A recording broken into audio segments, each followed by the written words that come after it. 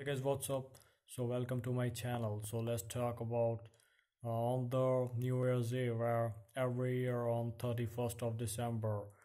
So this approach changes uh, by drawing a line on a time, and this approach basically varies from person to person because some people are in the habit of spending the New Year's by eating the black eyed peas, and some people are in the habit of spending the new year's by going to the beaches and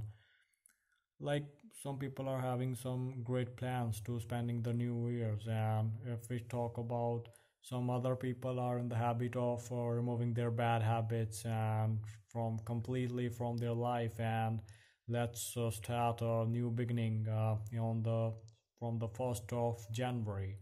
2021 so um, as we all know that uh,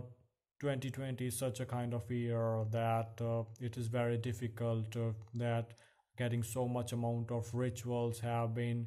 uh, increased in a greater way. As the larger number of people are starting uh, you know losing their loved ones and it is so much uh, difficult uh, for them to recover from the isolation period. And we can also say that as the no fireworks display and the no gathering of people are allowed but it's not the case that we are not going to celebrate the new year eves. Just we are celebrating in the some some usual manner like uh, some uh, raising some hands for the healthcare workers. And a great lesson for us that we will uh, be keep going in a such a way that our life uh, will be become completely uh, you know in a greater we got success in a very equivalent way. So if you like the channel so kindly subscribe to it